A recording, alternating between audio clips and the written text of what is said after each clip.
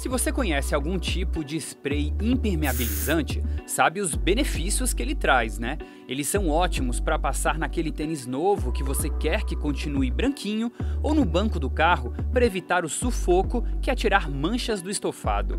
Mas você sabe como esse tipo de spray faz isso? A resposta está na nanotecnologia.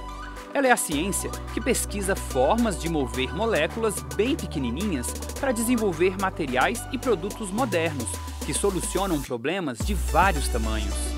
Aquele spray, por exemplo, tem micropartículas que protegem superfícies de líquidos.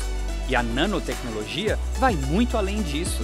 Ela é utilizada para construir estruturas mais estáveis e duradouras, Assim, as empresas ganham eficiência, reduzem custos de manutenção e ainda melhoram os processos de criação dos seus produtos.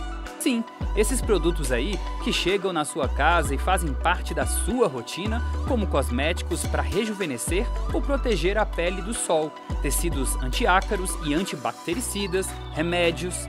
Viu só como a nanotecnologia é incrível? Mesmo sem perceber, ela está presente em nosso dia a dia de diversas formas.